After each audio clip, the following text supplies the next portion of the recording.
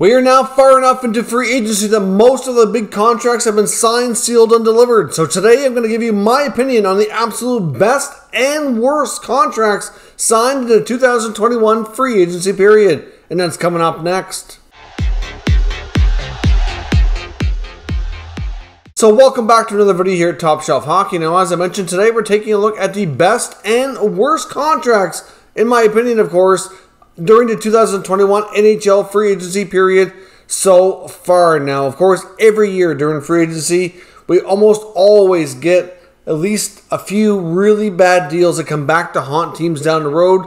Teams are not built into winners through free agency. We've learned that time and time again. This is a draft and development league. However, teams can spend wisely and they can certainly get pieces to add and kind of put them over the top. It's an extra piece that they can acquire in a trade or in a free agent acquisition to help them kind of go from one step up a notch and try to contend for the Stanley Cup. It can work out, it can happen, but oftentimes it's it's a disaster. More often than not, unfortunately, look back to 2016 as a prime example when you had all these contracts that are still you know, just slowly starting to come off the books now or being bought out, like Loui Eriksson and Kyle Okposo and Andrew Ladd. Like, it was a bad day. GMs made a lot of bad decisions. And every year when free agency kicks off, it's almost the same thing year after year. But uh, obviously, there's a lot of good deals. I think there was time in 2021 as well, not just some bad ones. And the bad ones this year,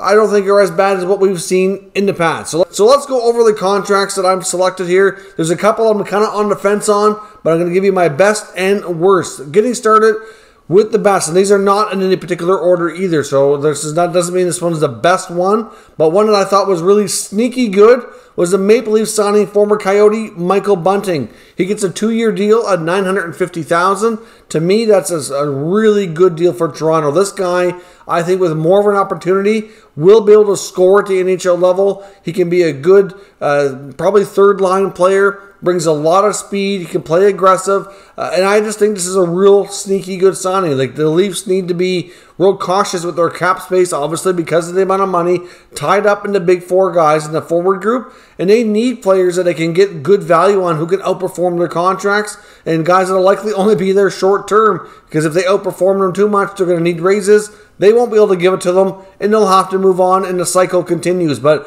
for Arizona to let Michael Bunting go, um, you know that was a big loss to them, in my opinion. He was a real good scorer last year, even though it was a you know a small spurt, small sample. He's a little bit of a late bloomer. He has connections to Kyle Dubas and Sheldon Keefe from their junior days in the Sioux, so no big surprise that they wanted to sign him. But to me, I think he can bring a lot, give you a lot of good middle six minutes, and really provide a lot of value for that kind of contract. So I really like that one a lot. Another contract I was really fond of was the Avalanche re-signing Gabriel Landeskog. Now I know this one came right down to the absolute last minute, right down to the wire. He gets an eight-year deal at $7 million per season, but to me, $7 million is like that sweet spot for Landeskog. He's still young enough that's going to take him into his, you know, mid to late 30s a little bit, but still, he's the heart and soul of this team. If they lost Landeskog, that would have been a big loss. I know they lost Philipp Grubauer, but they were able to get Darcy Kuemper. And as much as Grubauer is a loss, Landeskog would have been a way bigger one.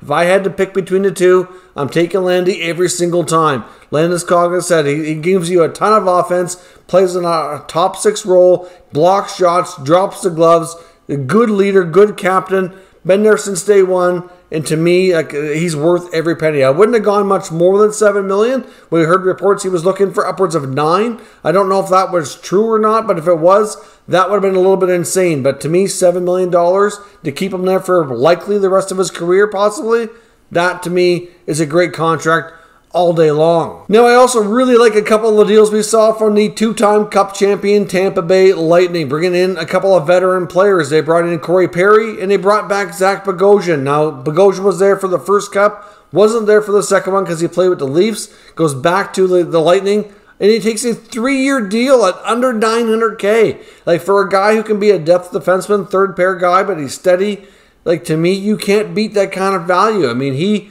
wants to win and he just wants to be in a consistent place where he and his family can settle for a few years. Obviously, probably left a little bit of money on the table, but obviously playing in Florida too gets him a little bit more money in his pocket because of the difference in state taxes.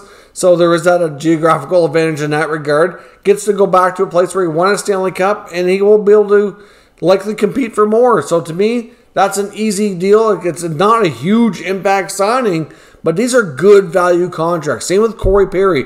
Corey Perry's in a warrior who's been battling for a Stanley Cup the past two years, losing in the finals both times to the Lightning. Even though a lot of people said, and I said it too, you can't beat them, join them. But I'm not sure it's entirely about that. Listening to him uh, in his comments afterwards, he was intrigued about the idea to be able to win and compete for a cup, but he was also really really happy with getting a two year deal, whereas most teams, especially the Habs, were offering one. So that's a big difference for his security, especially if he gets hurt or something like that. But I mean, he's proven he can still play, and when it's big, big game time and playoff time, he was a huge part of the Habs' success this year, and that will be a big loss for Montreal. And I think he'll likely be uh, on a good value contract, two years at a million bucks a piece.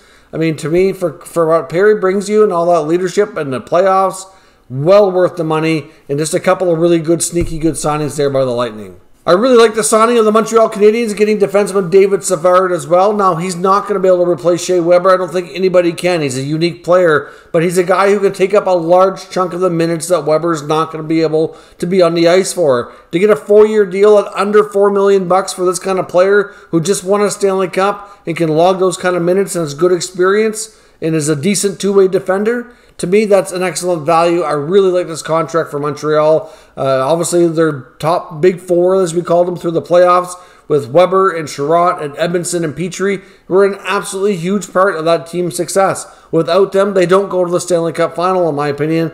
They lose Weber, who's a captain, a leader, and you know Savard is, like I said, he's not going to be able to give you everything that Weber did. But of all the guys that were on the market that they could have went after to try to replace and plug those minutes, this was an excellent option. He was uh, thrilled to take the contract. He said as soon as Montreal came calling, he was looking to sign. Uh, obviously, he's happy to go home to his province of Quebec, represent the Montreal Canadiens, and continue to play some solid hockey. So to me, another great signing that I really liked.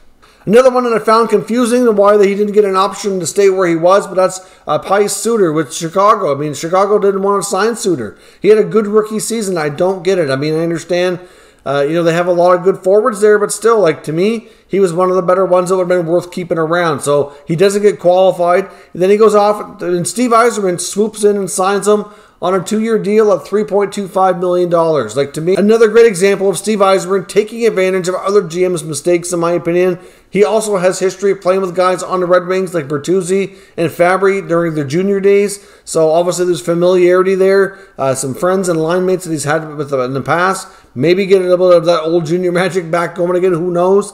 But either way, like he's a young guy looking to make a mark. Had a good rookie season, and it's another great like smaller scale signing but it's going to have good value and good good impact here for the Red Wings, in my opinion. Next up, I am going to say that I really do like this Dougie Hamilton signing by the New Jersey Devils. It's a lot of money, but you know what? Based on the market, I think he's worth it. We've seen Zach Werenski now get paid more money than Dougie Hamilton, but to me, Dougie Hamilton's a little bit more of a unique player. Plays that right side, which is hard to find nowadays. You know, he's six foot six, big, tall defenseman. Uh, provides a ton of offense, and to me, this was a great signing by New Jersey, and it's going to give that team a major signal that we're taking it to the next step. Our rebuild is still in, in the works, but this is a big piece to take us forward. They also signed Jonathan Bernier, uh, to me, who's I don't have him on my list of my favorite contracts that were done, but I don't have any issues with it either. He's going to be a great mentor for Mackenzie Blackwood. He's going to solidify that goaltending tandem to make them stronger between the pipes. And then, of course, you get this massive contract for Hamilton, who's going to be there for a long time as their young core guys like Nico Hischier and Jack Hughes and all their young forwards continue to develop and hopefully turn this team into a consistent winner again when they're ready and able to do so. And Hamilton will play a big role in that. So to me, I think they went out and spent some money. They sent a signal that they're willing to take it to the next step, and that will be huge for their organization. Now, another smaller, sneaky good signing here, in my opinion, is Jani Hakanpää of the Carolina Hurricanes, who leaves Carolina to sign with Dallas. I thought he was a great fit in Carolina, and to me, the Hurricanes have made some puzzling choices this year. And yes, there are some Hurricane contracts on my not so favorite list that we're going to get into here in a moment. But this was a player who was really steady for them, was getting a chance to play over guys like Jake Gardiner in the playoffs.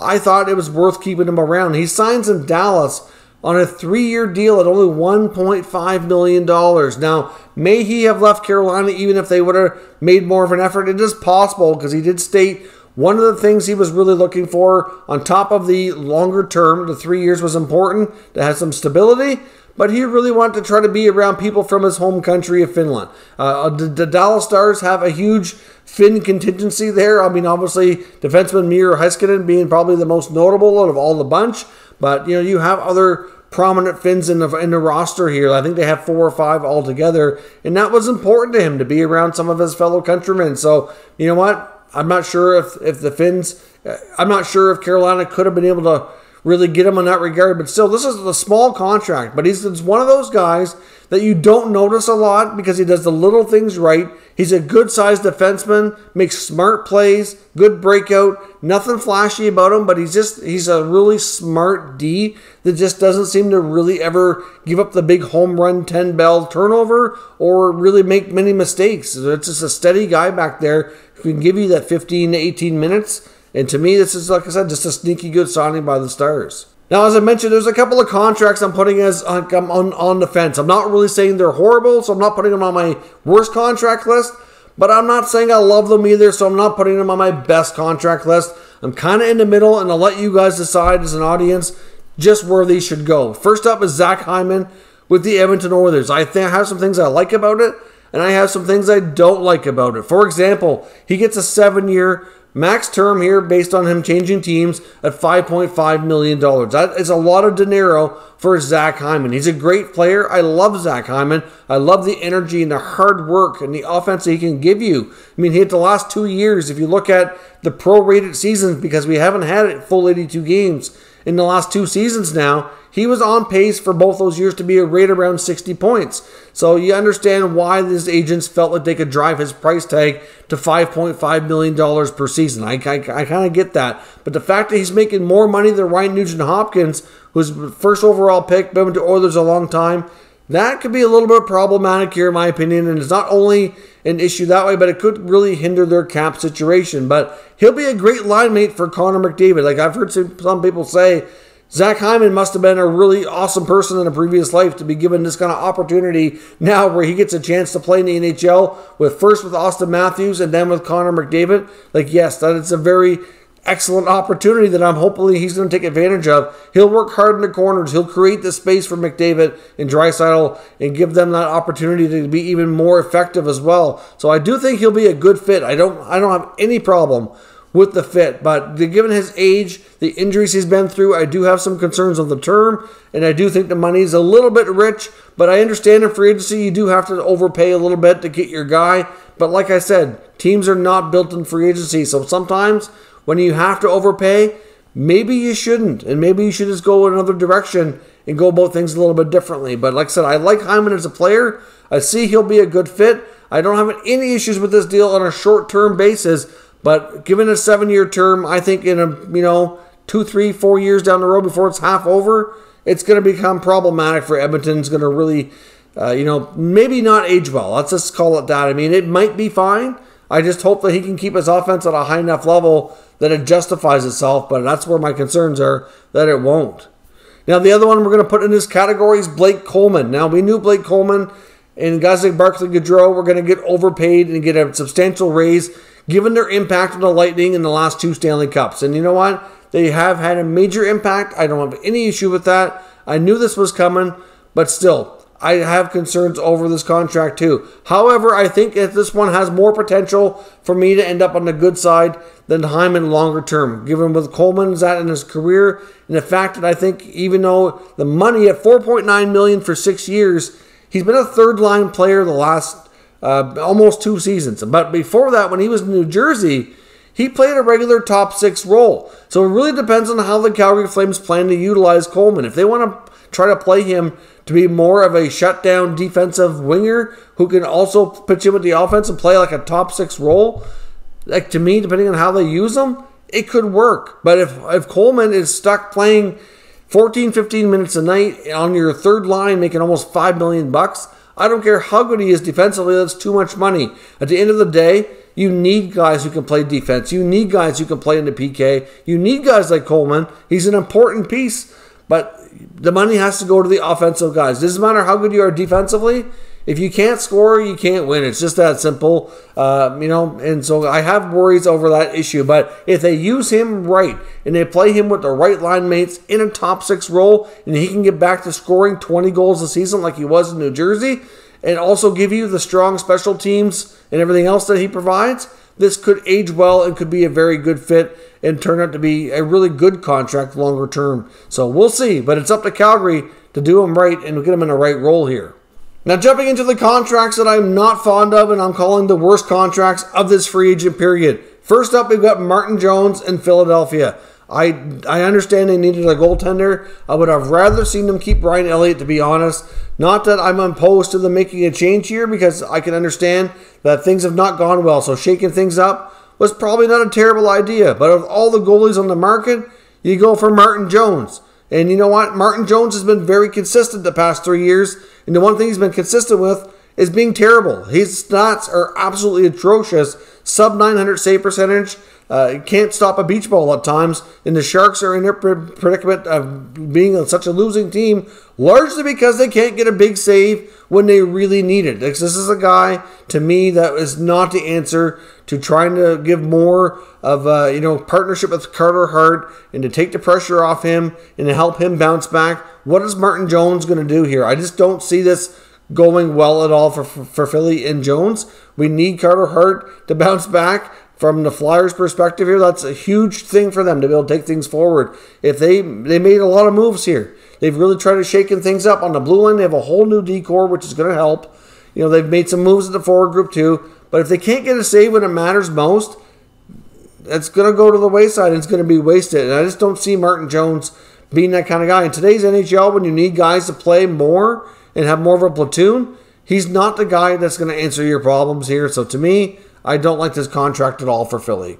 Next up, we have Alex Wennberg and his Seattle Kraken, where he signed a three year deal at $4.5 million. To me, this was a massive overpayment. We've seen Wennberg go through some good times and bad times at Columbus, end up getting bought, bought out, goes on to Florida. Of course, former GM Bill Zito knew him from Columbus, gave him a one year short term cheap contract to bounce back, and he did bounce back. He had a much better season. He was playing with stronger players. That also helps too.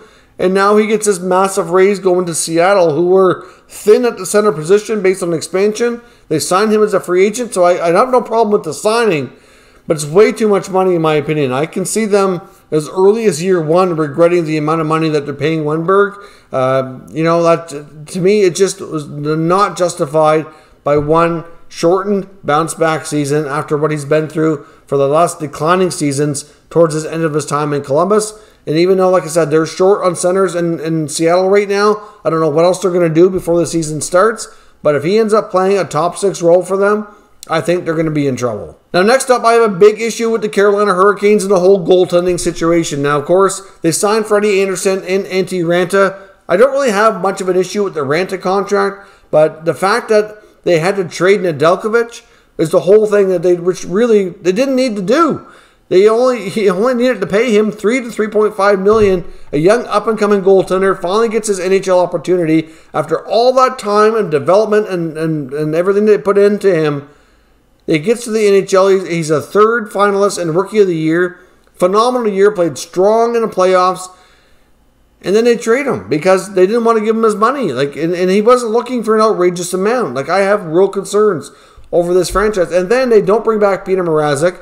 They were lowballing him too. And I think, to be honest, they had this plan all along that they wanted more experienced goaltenders. I've heard the comments from Don Waddell before the signings were even official that they wanted experience. They're a team that is trying to win now. They don't need a young goaltender. They want an experienced goaltender who can take them over the top. Well, what have these guys won? Nothing. Freddie Andersen has not gotten out of the first round with Toronto. Raanta's barely had any playoff time with the Coyotes. He's hurt all the time. Like to me, this was a disaster for the Hurricanes. I do not like the contracts at all. Freddie Andersen, after a disastrous season last year, only gets a short uh, you know, decrease in pay from five million to four point five for two years. So I'm not a fan of that. I'm not completely opposed to them bringing in one of these two guys. But if I'm going to bring in one, and obviously I'm going to say the Raanta contract is better, but you should have kept Nedeljkovic. And if you couldn't come to terms with Mrazek, Raanta's not a bad option to bring in to work with Nedeljkovic. If you could have had Raanta at 2, Nedeljkovic at 3.5, you could have saved some money and had better goaltending. Like I said, I'm not completely against Freddie Andersen. I think he could bounce back and still be a good goalie in this league. I just don't see why Carolina had to do this and, and see this as an upgrade. They're going to have to be relying on both Andersen and Raanta to bounce back, which is not something that's really, you know, all that reliable. It's a risky move when you had two in house goalies that were more than capable, but you didn't want to pay them. So to me, I don't like this move at all. Next up, there's the Phil Danault contract in LA. He's got a six-year deal at 5.5 million, and again, I think this is too much money. I'm not too much of a problem with the term, but for a guy who just does not provide you the offense. Now, I know there's going to be some, if you go through a lot of the five on five stats and the points per 60, he actually didn't have as bad a year last year as it looked, but to me, he struggled hardcore. And I think a lot of his struggles came from the contract negotiations. Montreal offered him a very similar contract. He held out, did not sign, leaves Montreal, and basically only get 500k more per year, which, you know what, overall, it's a, it's a fair bit of money. It's, you know, that's $3 million in six years. So it's nothing to sneeze at, for sure. However, like he went from in Montreal saying that he was concerned about a spot in the lineup because of the young emerging centers like Suzuki and Kotkaniemi providing that competition, and where he dropped down, it was more of a number three defensive specialist. Well, that's what you are, Phil Danault. You are a defensive specialist, and you're going to LA where you're going to play behind Anze Kopitar, and you've got young guys that play center like Quinton Byfield and Alex Turcotte coming right up behind you as well. So it's not like you don't have any less competition. In fact, you probably have more in LA than Montreal. So you know what? I don't understand the fit uh, from his perspective. Now, from the team's perspective, I do like the fit. It's not that I don't like the player there. I think having a great defensive center like Danault behind Kopitar will likely allow Kopitar to be even more offensive and get better matchups so he doesn't have to be the uh, the defensive matchup on the other side all the time. You can pick and choose your line matches better, and you can get more offense out of Kopitar Danault is going to have to be the guy getting the more tougher defensive assignments because he doesn't produce the offense that Kopi can. So to me, that makes a lot of a lot of sense in that regard. But I think this is a lot of money from LA for a defensive specialist here. I'm just not confident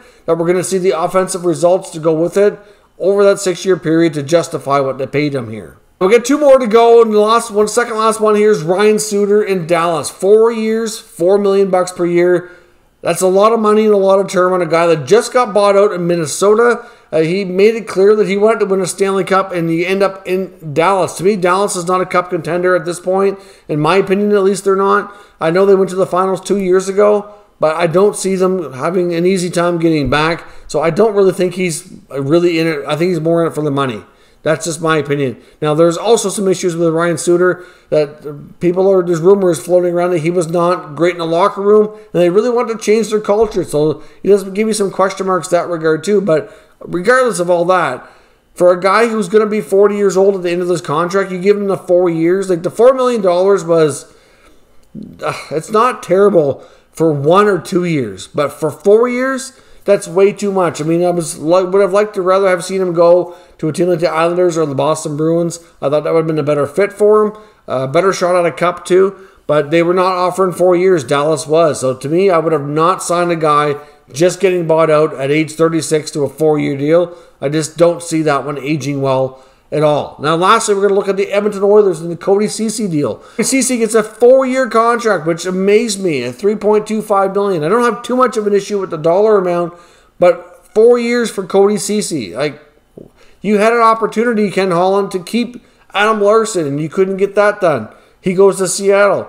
I mean, that would have been a much easier, better option to me, is if you could have done that. But it sounded like Larsson wanted out and wanted a fresh start. For whatever reason, you couldn't keep him. So that's unfortunate. But, you know, of all the guys that you could have went after in free agency, I don't know. You brought back Tyson Barrie too, which is fine. I have no problem with the offense that Tyson Barrie can bring. But then you go in and bring in Cody Ceci, too. Like, I just To me, it's a lot of term. The guy is way overrated. He had a better year last year in Pittsburgh than I expected him to have. So I think if given him the right role and the right partner in the right minutes, it can be okay. But still, it's a lot of term. And I really think the Oilers could have overpaid here. And I really think that they could have went in a different direction and found a cheaper defenseman that could have been just as effective. But really, the end of the day, keeping Adam Larsson was by far the better choice that they should have hopefully found a way to get done. And that's just that. So those are all my worst and best contracts from free agency so far. Of course, as always, want to know what you think as well. So let me know your comments down in the, in the comment section here. Which contracts do you feel were the best? Which ones are the worst? Which ones are driving you crazy? Which ones do you see not aging well and being really problematic? down the road. Let me know that and we'll discuss further. If you're new to the channel, make sure you subscribe and stick around. We'll keep you up to date with all the latest news and rumors and free agency and everything else with the offseason at Top Shelf Hockey. Thank you for watching, and I'll catch you next time.